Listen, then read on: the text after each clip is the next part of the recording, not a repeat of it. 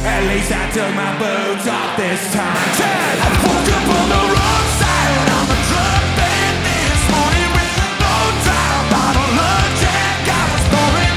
Guess she got some nerve when she kicked me to the curb. Guess you could say I got what I deserve. I